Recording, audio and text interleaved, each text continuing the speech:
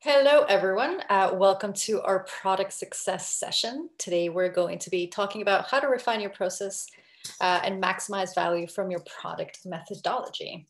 Uh, as we get started, I am launching a quick poll uh, on the poll tab. If you uh, wouldn't mind uh, answering that, thank you, whoever that first person was. so just a quick brief, what are product success sessions? we generally focus on a different area um, every couple months. Uh, we'll discuss setup and implementation and share best practice and functionality for success uh, with ProdPad. If you have uh, any questions, uh, you are absolutely invited to talk. Um, just click on the um, raise my hand or raise your hand option uh, in Zoom. If you're a little bit shy, we totally get that. Uh, just type it up on the Q&A um, and I'll be sure to read out your questions back um, to Emma, who's with me today.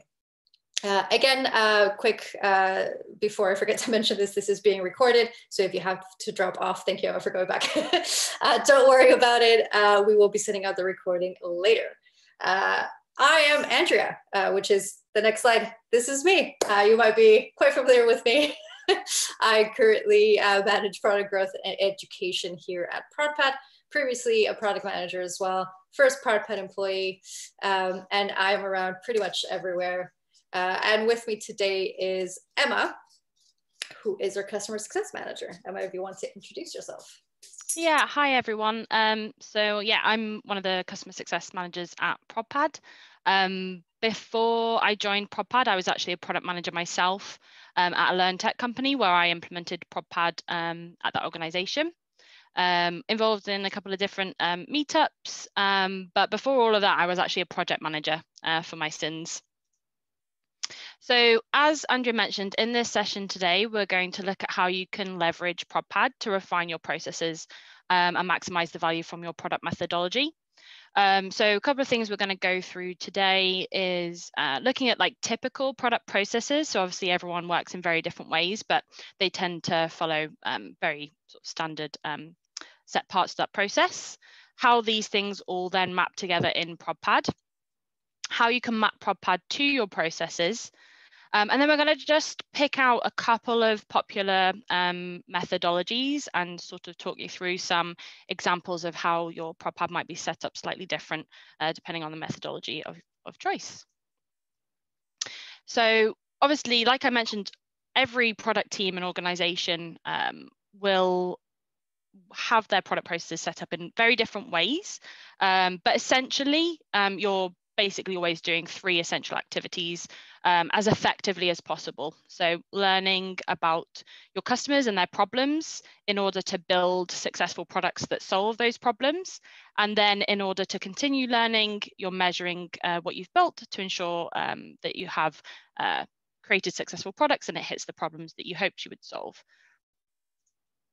So quick question just uh, straight out the gate.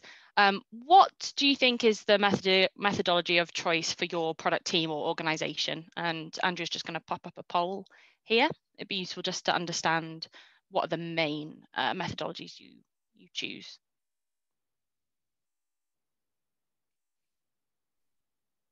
Agile is taking the lead. Ah, uh, cool. That's good.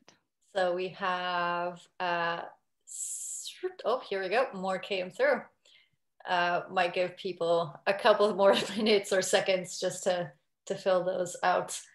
Um, but so far we have Agile as number one, mm-hmm. um, Lean and dual track Agile uh, tied at second, and then design thinking uh, last. Brilliant. Well, dual track agile and design thinking are going to be a couple of the ones we show examples of. So that's that's pretty useful then. Hopefully we'll be able to share some thoughts on that. Thank you.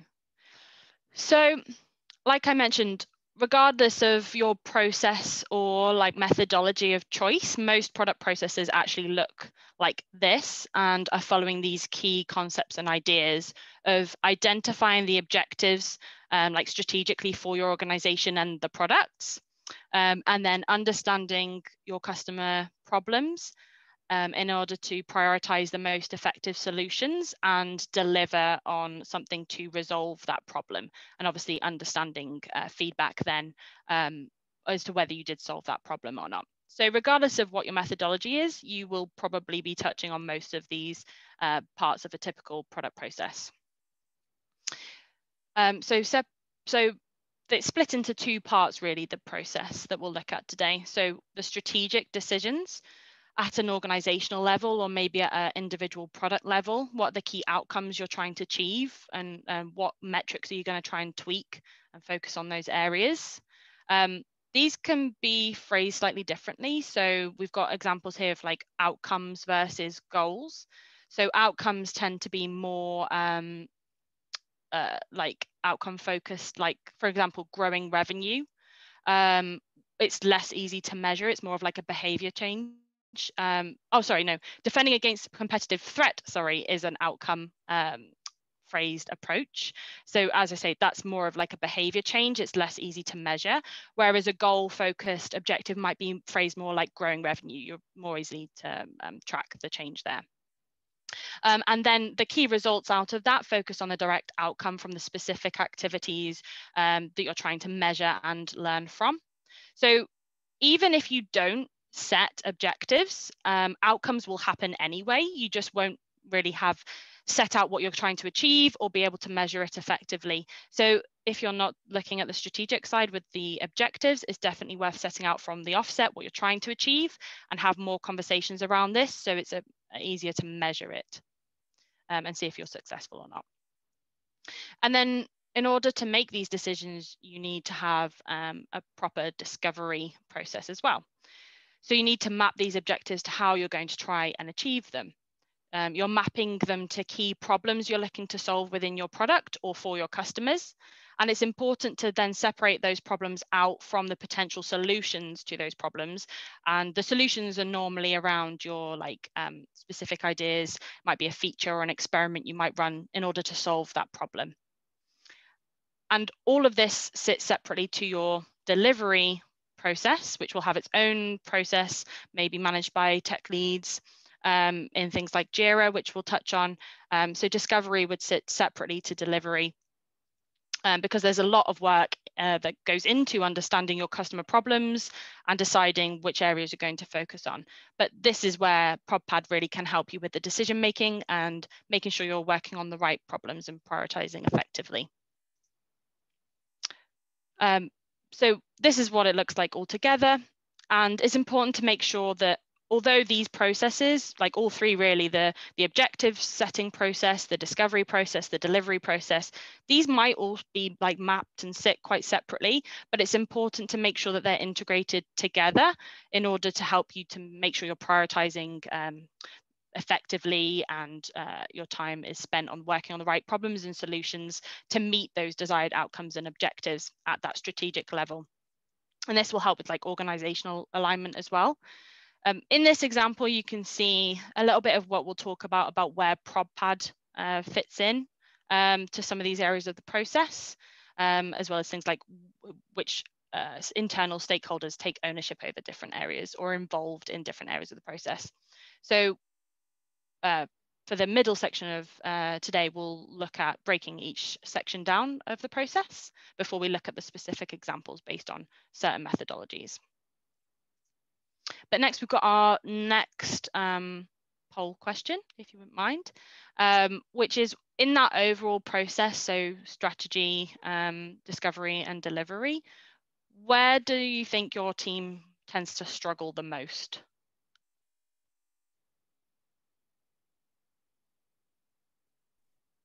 Um, and not to bias any responses, but I would tend to see when I'm um, speaking with different um, people, I tend to see that actually the problem um, definition space tends to be one of the most uh, trickiest areas for people to overcome from, especially if they're moving from like a feature factory approach, say.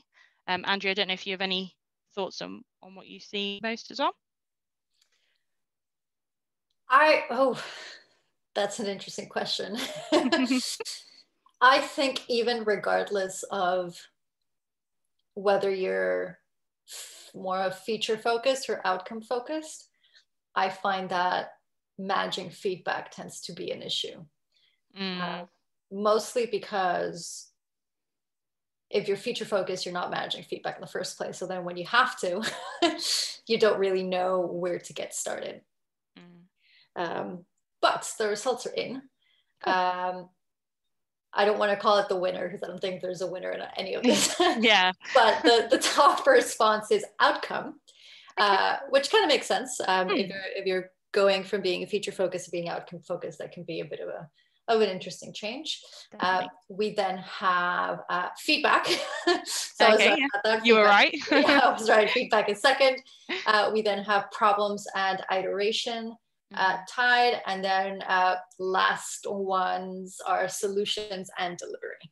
Which makes sense because I guess a lot of uh, starting points for companies is around, you know, deciding what, you know, especially if you've started off um, being led by certain internal stakeholders deciding what features you're going to build. Um, and often, if you're having focusing on like the tech team and delivery, so it makes sense that those would be a bit more um, process might be a bit more well defined, um, although not that they're not without problems.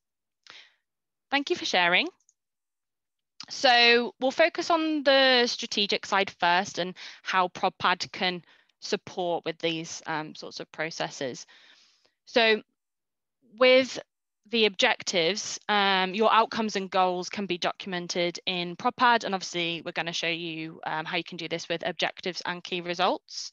Like I mentioned before, although I got it in a muddle, uh, the wording can be different. So it, we've got the examples here of we've got like outcome objectives versus like goal objectives. So like I mentioned, something like defend against competitive threat, that's more of an outcome focused phrased objective, whereas grow revenue is more of like a goal focused objective, something that's going to be easier to measure. Um, so these are the key um, areas of ProdPad that can help. I'm just going to jump into ProdPad now and show you where these are. So if we start off with the portfolio objectives, so important to note that we have two types of objectives in ProdPad, portfolio and product objectives. Um, the key difference is portfolio objectives can be used across your products, so they might be more um, like organizational wide objectives, whereas you can also then have more product specific objectives that you're just looking to work on on those individual products. So there's separate sections where you can create these and, and track them. So each objective will have like a title and description. And then if you've got um, key results in there, and that's something that we're looking to um, have as an add-on. So if you don't have it yet, it should be um, something you can look to have in the near future. Um, you can track key results of these uh, objectives. So on each key result, you can show which are the contributing roadmap cards um, that you're working towards uh, achieving that key result. And you can mark whether they're uh, whether that key result's on track, behind, or at risk. You can add things like status change comments and things. So really useful way for you to be able to document what your objectives are and then also measure um, the key results and whether you're successful in achieving that based on your roadmap card initiatives. So that's at the portfolio objectives level and that is also at the product specific level too. So again, very similar looking. You've got the product objectives, you can also have your key results and you can also see the portfolio objectives.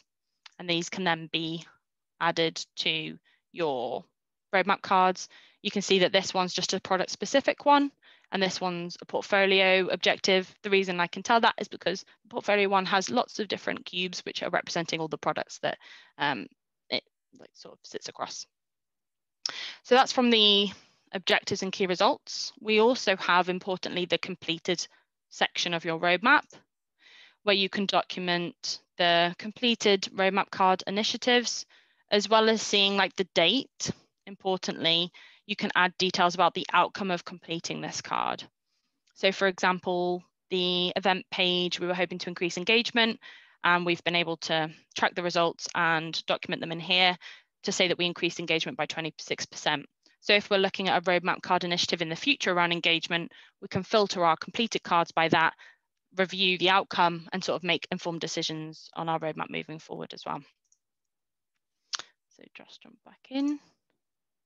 So quick question time, just uh, wanted to understand if you are using objectives and or key results, if you have access to them in ProdPad at the moment. Like I mentioned, uh, key results we're looking to um, introduce as an add-on in the near future, so it'd be interesting. I was gonna say the first response was the one that says, "Can't wait to get my hands on it." yeah, I thought I'd add that one in because I know we um we we do have some eager beavers that are ready to to get going with that. So.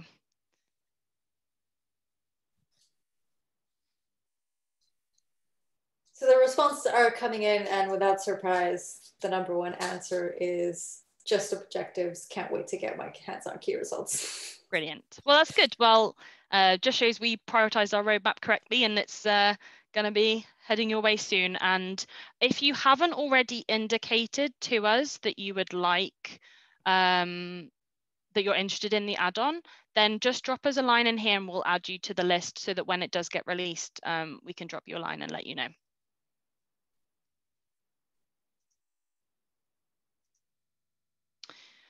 So moving on to the discovery part of the product management process. So our ProdPad's roadmap ideas and feedback management then will help to support the discovery and prioritization at this um, part of the process. Um, but we'll separate each of these out and look at them in more detail and how ProdPad can help support each of this, um, each of these sections. So the first is around um, the problems. Um, two key areas around this is uh, through our roadmap cards and also feedback. Um, with your roadmap cards, your problems are highlighted as the roadmap card itself, and you can order these um, to show the priority order. We've also got like an impact and effort score as well to help you to reflect that prioritization.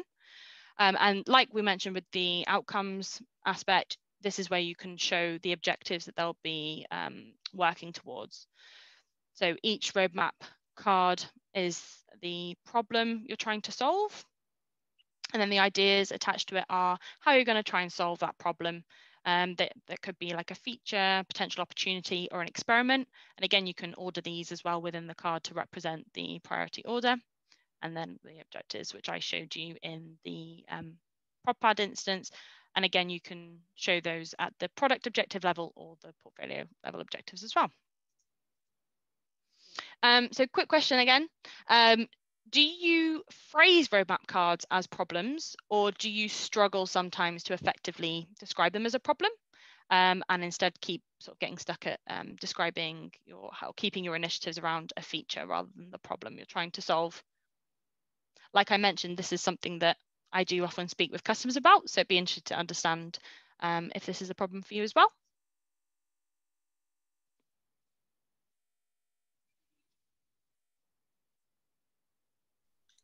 So the results are coming in, and so far it looks like 58%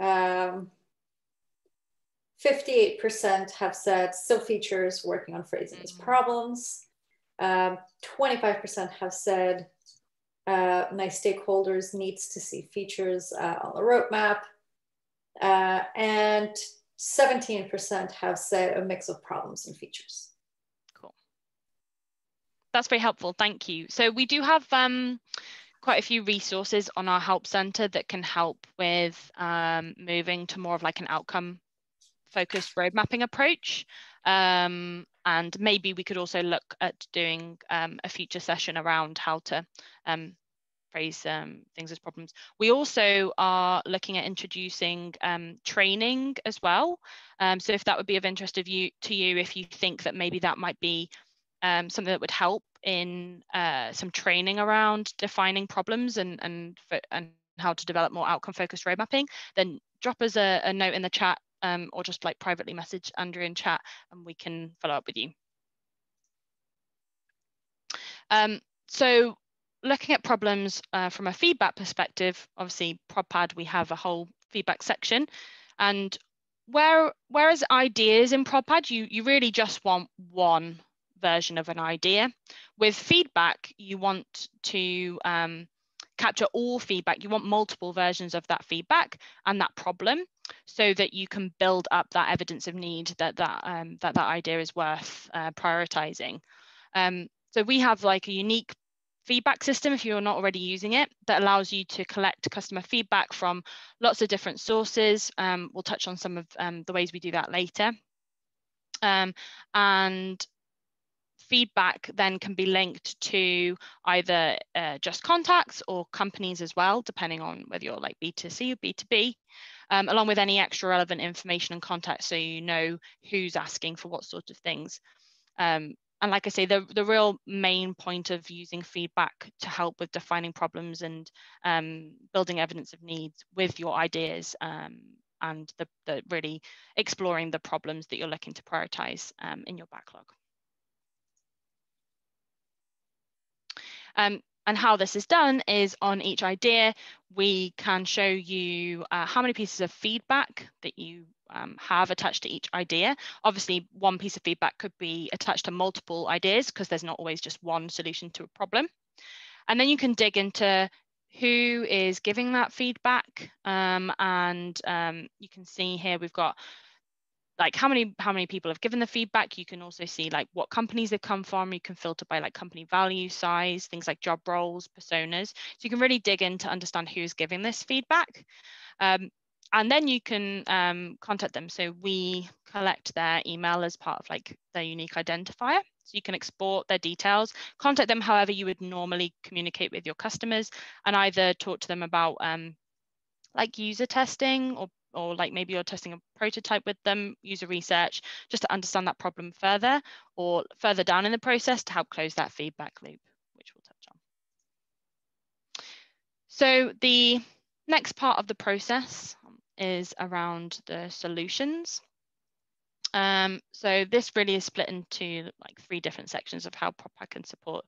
So we've got potential solutions and Prob will look at the ideas and workflow for how we can support that.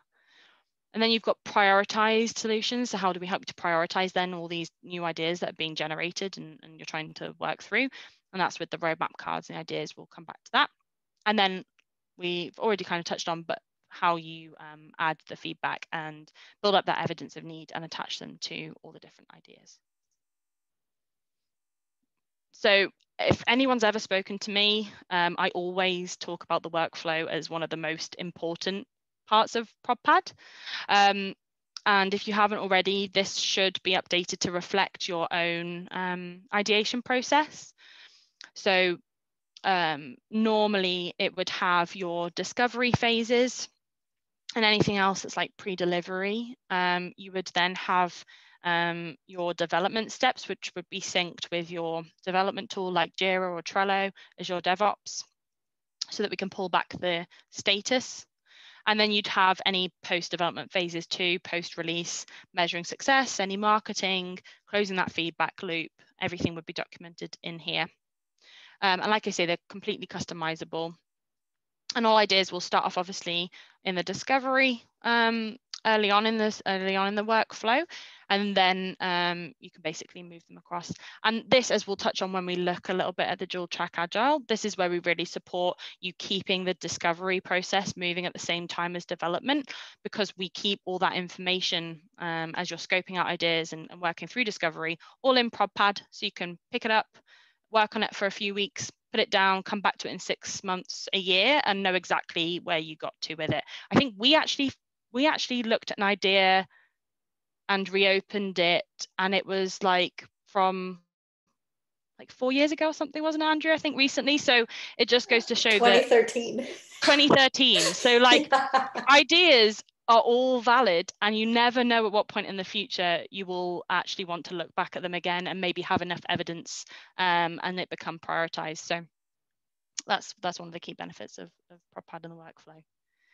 um, and as we've already touched on, these prioritized ideas as the sort of solution side would then um, appear on your roadmap um, as part of the sort of joined up to then that problem definition and the like objective definition process.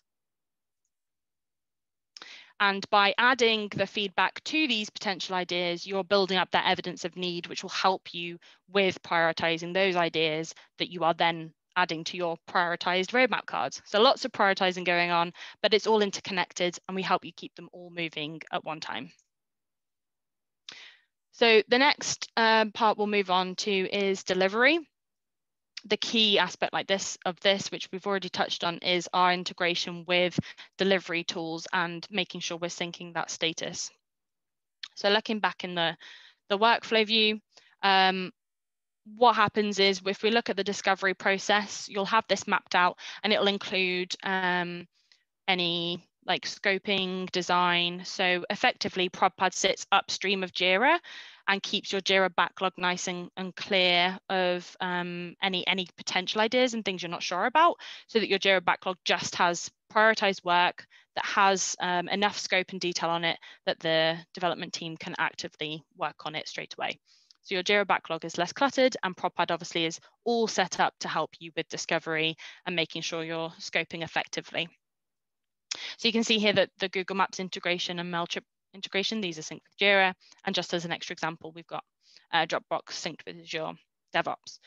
So you'll probably have like some some form of like ready for dev um, status in your workflow or like prioritize for next sprint or sprint planning, whatever it might be.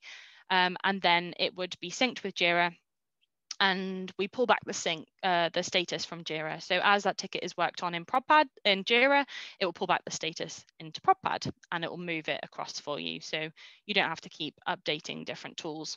ProdPad will keep updated. Um, so how we do this is based on your integration setup. You can have multiple integrations. So If you have different teams that maybe work in slightly different ways, um, you can set up multiple integrations. You pick the project, pick where you want the ideas and user stories to go in um, Jira, and then you will do your field mapping. So what, where do you want the title to go? Where do you want the description to go? And also the workflow stages, like I mentioned. And one of the benefits of the workflow stage mapping is normally in Jira with the development stages and like QA steps, you might have multiple stages like code reviews and um, different QA stages but actually from like a strategic point of view and um, other people that have access to ProdPad, you don't necessarily need to know where it is in the development flow. You just need to know, is it in development or is it in QA? Um, so that can help um, use ProdPad as like a window into Jira where not everyone really can like understands what, what the status actually means. Makes it a bit more understandable.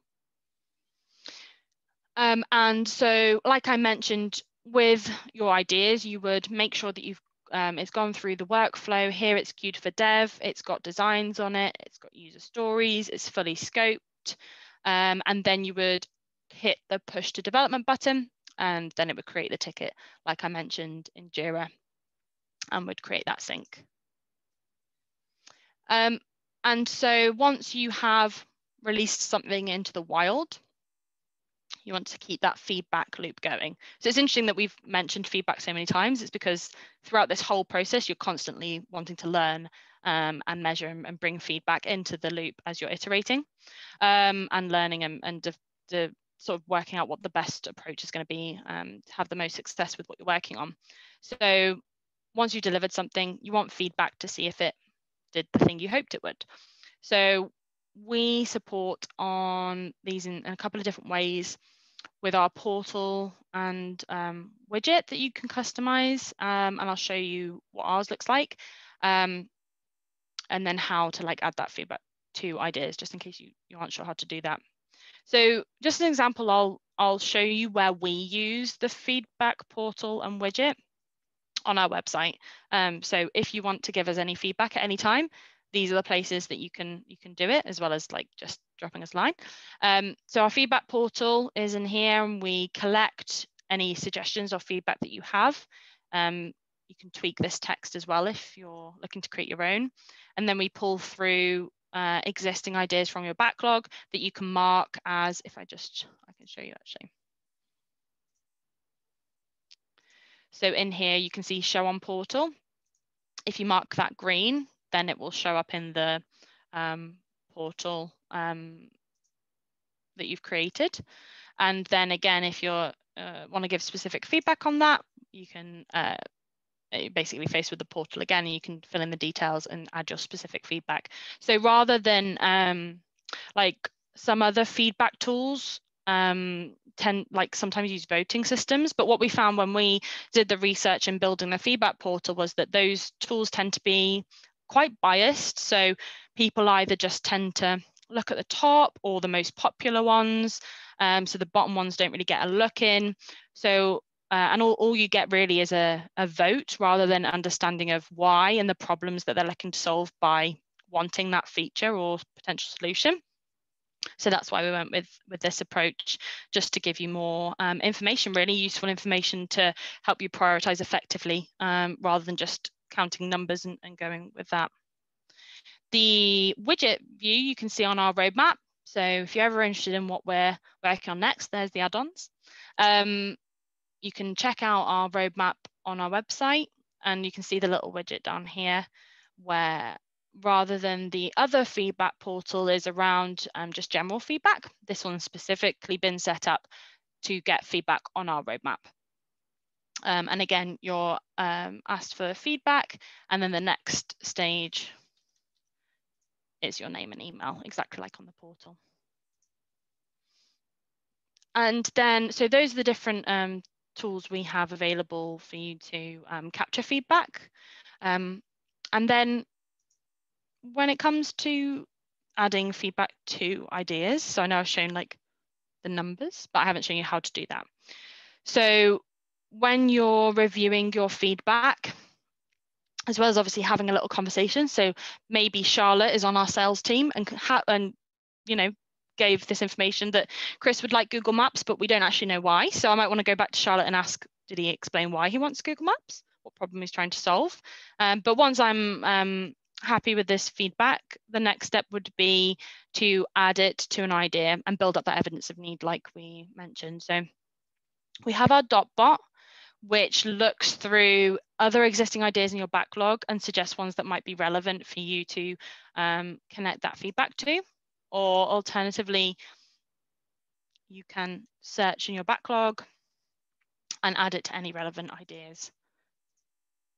And then that will then show you, like I showed before in the slides, you can then see when you're reviewing this idea, working through the workflow, how many customers have given that feedback, um, and you can drill down into uh, any specific company value or job role or persona, for example, um, and really look into, into that feedback and help with um, prioritization and, and learning moving forward. So quick question time. Um, are you using feedback to help prioritize your ideas? Um, and maybe Andrea, I don't know if you might be able to talk a little bit about how we use feedback, um, like our, how we manage feedback at ProdPad, because I know it's something that we you do quite well. Um, yeah, so our, our feedback process um, is pretty tight, I think. we, we, we, run a tight ship um, in that every piece of feedback that comes in is first triaged by me um, and then triaged by your senior product manager. So two people get to look at it um, at the very least. Uh, so when it initially comes in, I'll just make sure that it's added to the right product as we do manage multiple products internally, whether it's the actual ProdPad app or an improvement for our help center or our marketing website or our services or anything like that. Um, the second step would be to um, add any tags, any personas, any ideas if I already know them. Um, and the third and most important step is to just make sure that we have enough information. Um, and if we do not, then I will either tag uh, Emma, Wes, uh, who is also on the line, uh, or Ellie, uh, depending on you know who might be managing uh, or be communicating with the customer. It'll most likely be Ellie, uh, who is part of our support team, who can then reach back, ask for further questions, things like that. Um, and then once it gets to a point where we have enough um, information um, by that point in time, you know, Kirsty, who's our senior product manager, will come around and uh, just make sure that everything makes sense. She doesn't require any other information and it'll be moved to the backlog. Um, so it's really important to, you know, have that understanding of what the problem actually is, what the customer might be struggling with, Um, because if you just have a vote, as Emma said, a vote doesn't tell you what the problem actually is. Um, and what we tend to find, and I'm sure this is um, a fairly relevant statement, is that users just know that they have a problem. They don't necessarily even know what the problem might be. They might be focused on a particular solution, but that solution that they think might fix their issue might just be a temporary symptom that they're suffering from or suffering of. Um, so by just making sure you're asking questions and, and you know having that conversation that you can actually start to understand how you might approach um, the actual problem. Uh, with all of that said, we do have the results to the poll. 50% uh, said yes, 30% said no, wish we could do more. 10% uh, said no, wish ProdPad could work differently. So we could. Uh, we'd love to talk about that, whoever that mm. was. Um, and no, we don't have requirements to. Mm. Yeah, so like like Andrea said, um, if you either said that you would like to do more, then we are definitely, um, you know, we're always available for conversations. We can talk through your use case and and different approaches that might work to introduce that in your organization. Um, we've helped lots and lots of companies to introduce feedback processes. And equally, if you wish it would work in a certain way, um, either head to our website and, and add it in our feedback portal or drop us a line on intercom or just mention it now in the in the chat and we'll capture that feedback for you um, and, and, um, and uh, discuss it further with you. Cool. So um, looking at like some of the popular product methodologies then and like um, just to talk through how your setup might look slightly different depending on, on what your what your methodology of choice was or what your process is like based on. So we do have a wide variety of customers, like just from, from startups to scale ups to large enterprises. We've got B2B, B2C, B2B2C. We've got all sorts of customers, um, software, hardware, services, even. Um, and, uh, you know, we've spoken to thousands of customers over the years, and each organization has like slightly different processes and chosen methodologies. And obviously, this depends on what works best for you and your organization and also like where you are in your in your product journey and, and introducing product thinking to your company um, I just picked out like here's a few of the ones we hear um, most commonly, um, but like I mentioned at the start, we're just going to focus on two examples and how um, we're not naming names or using like a specific customer, but just based on customers we've spoken to, how the setups are slightly different um, based on the methodology of choice. Like I mentioned, we're going to look at dual track agile and design thinking. So if you're not familiar with dual track agile, um, here's it summed up in a nice image for you. Um, but basically these teams will balance the day-to-day -day work across both the discovery and delivery, keeping both streams of work moving at the same time, rather than more of a waterfall approach, which would involve you doing the discovery and then delivering on it and not kind of keeping that feedback loop going and, and iterating as you are working on that idea. And uh, the key to this sort of process is keeping your product ideas backlog in ProdPad separate from your development or like delivery backlog, which would normally sit in Jira like we looked at before. And like I mentioned, not only does this benefit the development backlog by helping that just be full of refined and validated, prioritized, well-scoped ideas, um, but because you're using ProdPad for the discovery side, it helps you to um, keep that side of the process moving too through things like the workflow, the impact and effort scoring, um, and you can keep those ideas moving through your workflow.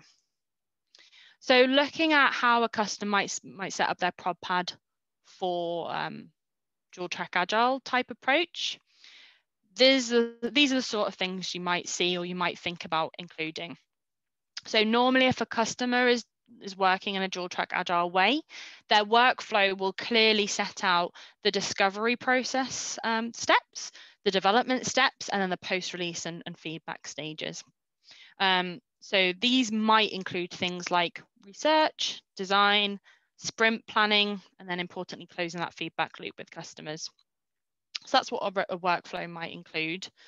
And then roadmap initiatives will probably include those across um, both discovery and delivery stages, with um, roadmap cards more in the now column being more on the delivery end of things, moving all the way to later roadmap card initiatives being more on the discovery side.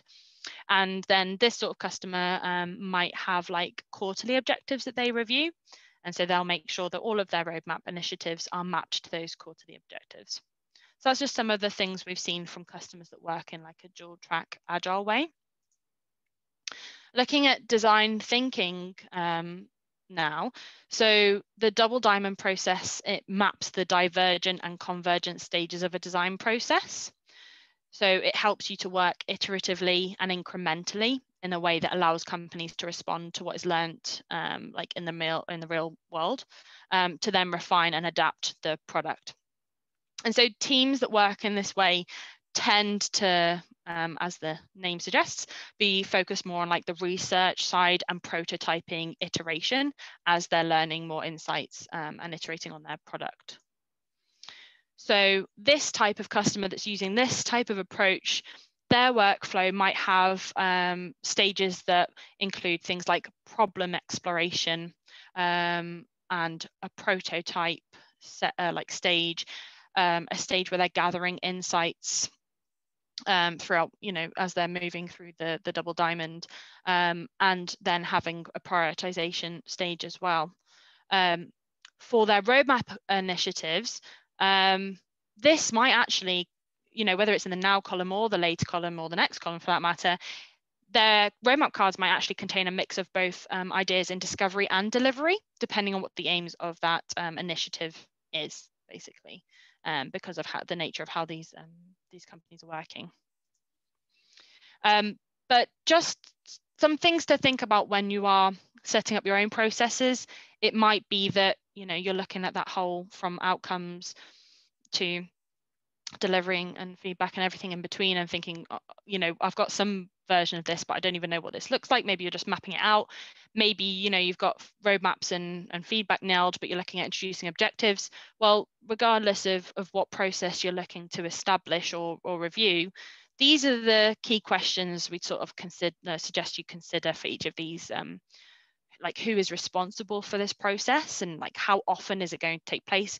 So like for example your objectives if you work quarterly um, then you know that's going to you're going to be checking your objectives less regularly maybe than you will be feedback for example which might be daily you're triaging that feedback and mapping it to ideas. Um, how should it be managed? Um, importantly we showed you how how these things can be managed within ProdPad today.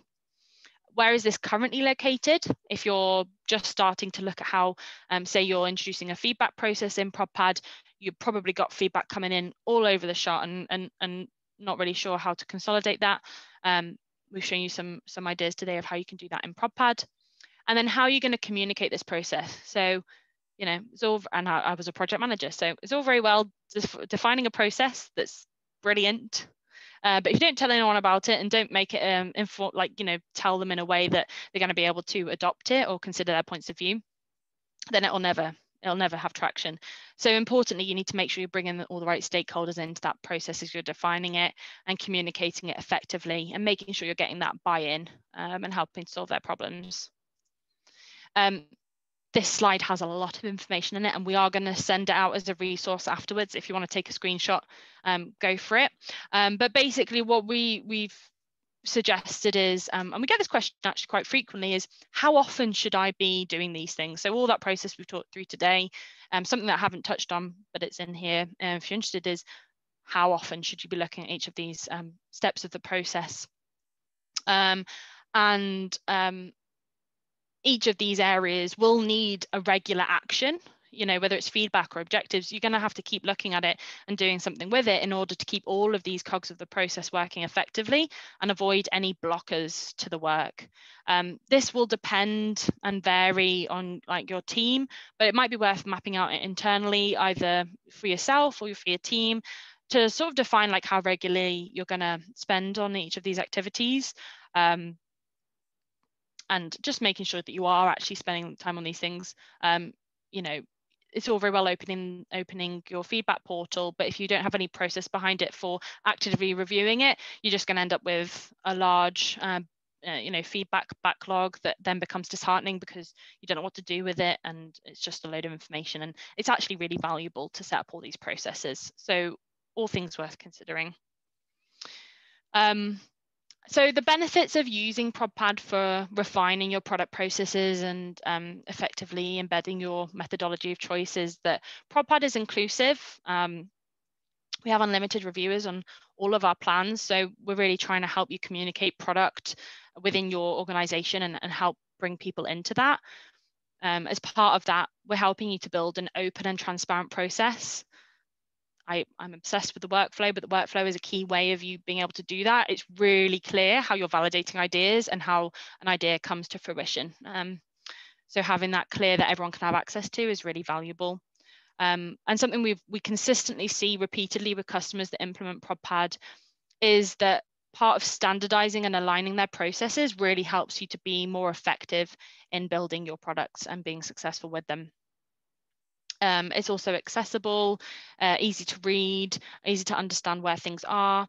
And obviously we've got our integrations with other tools. So yes, product ProdPad is probably going to be where the product team spends most of their time, um, but we integrate really well with Slack and um, we have like our Chrome extension and Jira integrations, Trello, etc. So all your colleagues that tend to spend their day to day elsewhere, they don't necessarily have to go into ProdPad to, to bring you that valuable information and, and contribute.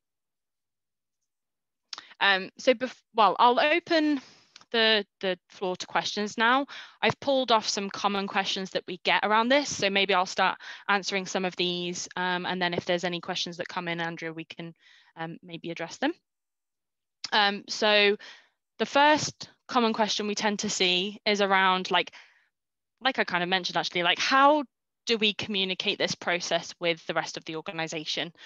So I would suggest think about how you normally communicate change management. Now, this might not necessarily be something that you do as a product person, but you're bound to have done some change management um, as part of your role. But think about how your organization normally manages this. You know, do you have an intranet? Are you very meeting heavy? Like, you know, if it's not for a meeting, it doesn't really exist. Um, what's the best way to roll it out between the teams as well?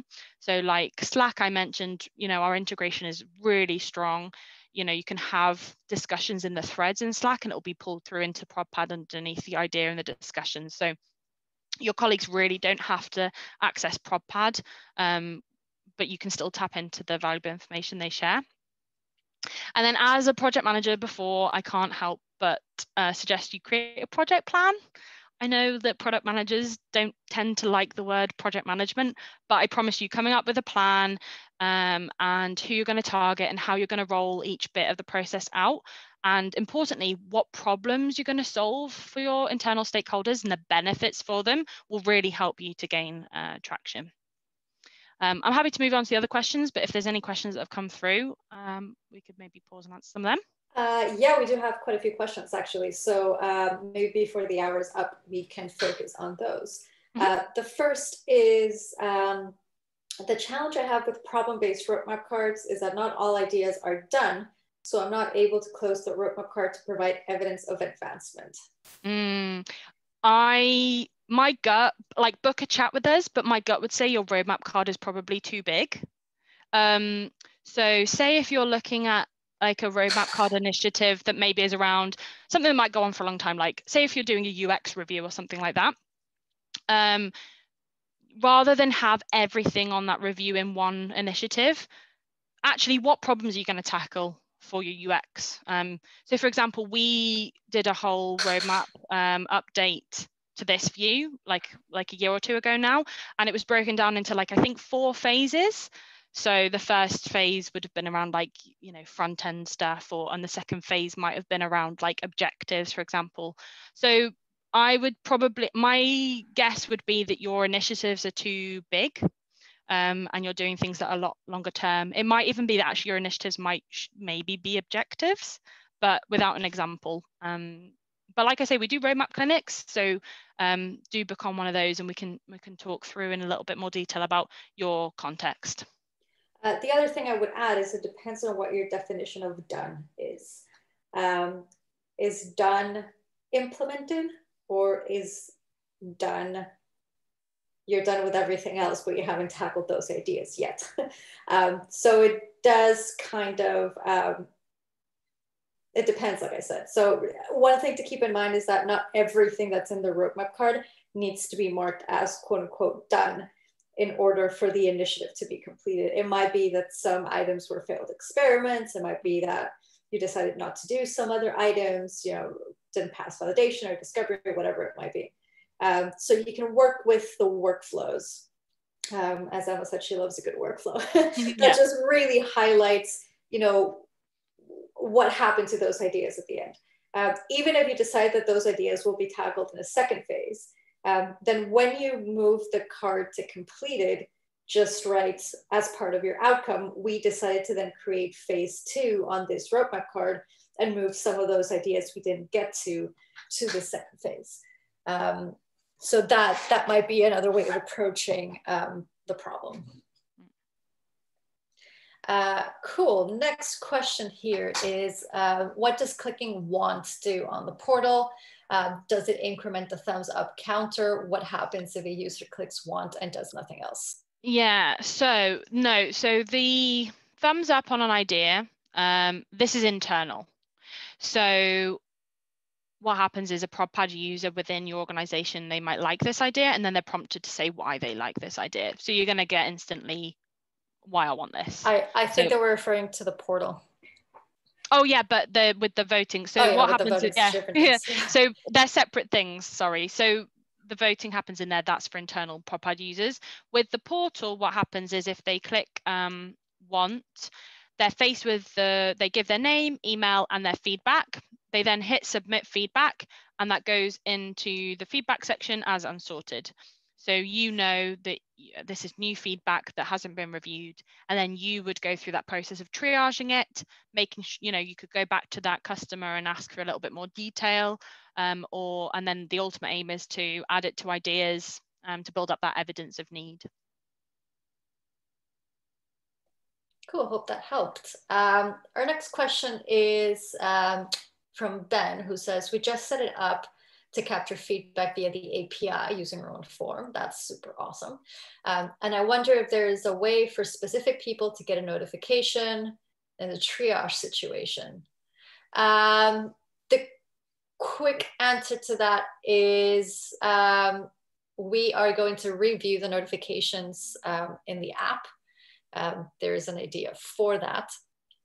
Um, so another way you might be able to work through that might be with the API as well.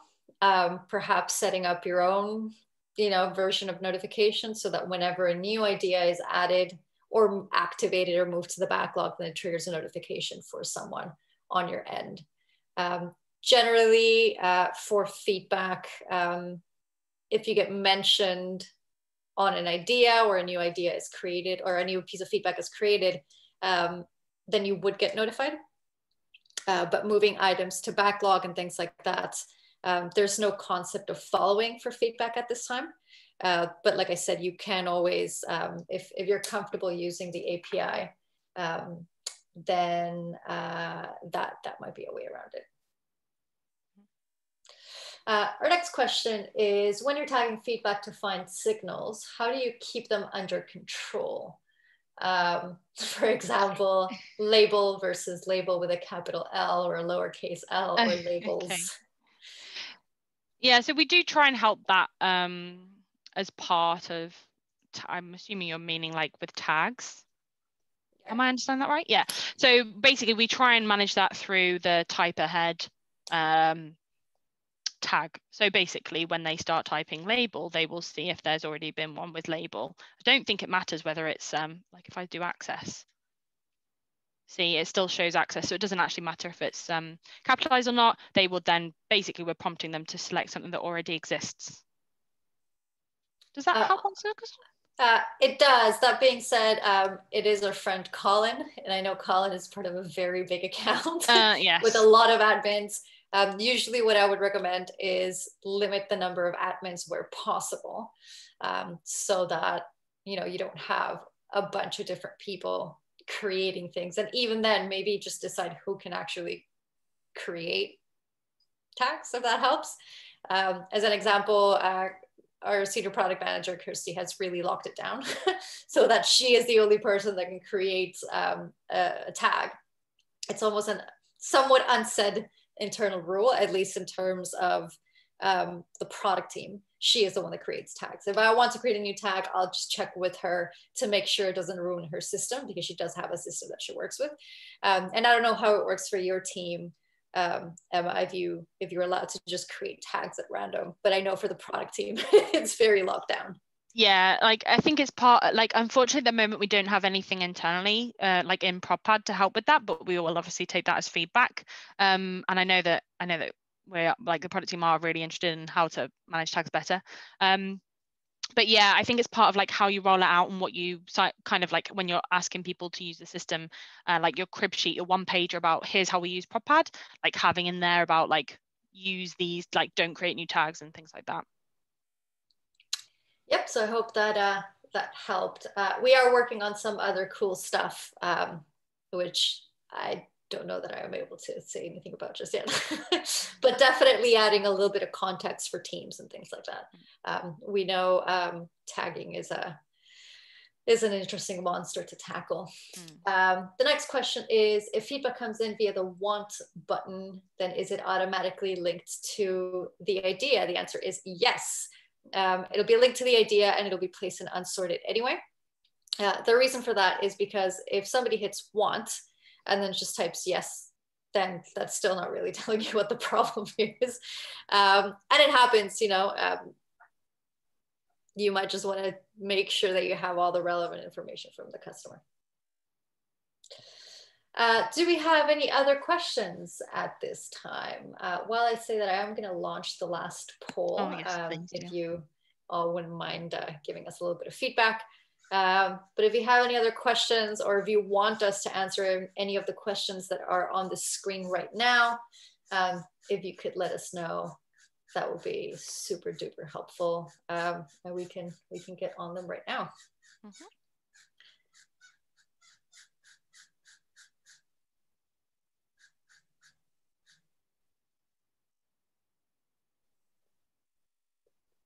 No, I think I think we're good perhaps. Well, just to um, reiterate as well, um, the customer success team at ProdPad were always happy to chat. Obviously, for the purposes of this um, sort of like webinar, we have to keep it quite um, general. Um, obviously, we've only looked at dual track agile and design thinking. But if you want to look at um, how to better embed ProdPad or use ProdPad to um, refine your own processes and you want to talk specifically about your context, then just reach out to us and we'll we'll book a meeting in and uh, we can um, you know spend some time reviewing that with you, get you set up. Um, yeah, and we've done the poll. So yeah, I mean, if there's no other questions from anyone, then um, we can let you enjoy the rest of your day. I was gonna say the rest of your Friday. I clearly have no idea what day It is. oh yeah, it's a Friday. Who knows what day Tuesday. is anymore? it's yeah, it's everyone, Tuesday you still have to go to work tomorrow. Yeah. um, excellent. Well, thank you everyone uh, for joining us today. As Emma said, if you still have any questions, you can always reach out um, at hello at prodpad.com. Um, if you're a Twitter fan, you can reach us um, through our Twitter handle. So it's at prodpad. Um, we also have a success email address, I believe, success at prodpad.com. Any of those, um, you know, drop us a line. You can also do it through the app um, and we can schedule in a session with you. Um, so have uh, a great rest of the day. And again, thank you for taking the time to sit down with us today. Have a good one. Thank you. Bye.